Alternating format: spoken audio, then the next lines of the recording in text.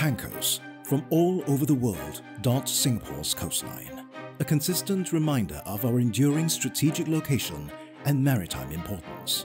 While many saw this potential throughout history, not all capitalized on it. More than a hundred years before Stamford Raffles arrived, one man noticed the island's importance.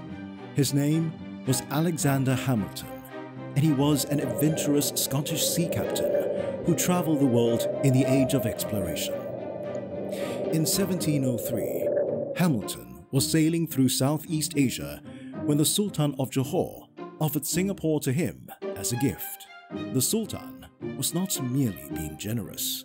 He was not a popular leader and his reign was in crisis.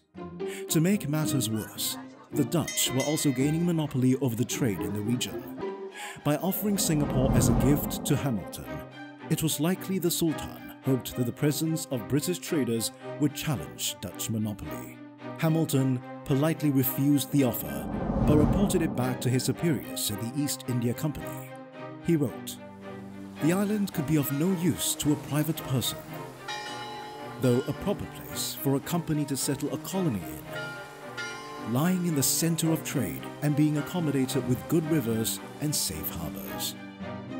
Hamilton had spotted Singapore's potential as early as 1703, yet his suggestion would go unheeded for more than a century, merely becoming an interesting footnote in Singapore's history.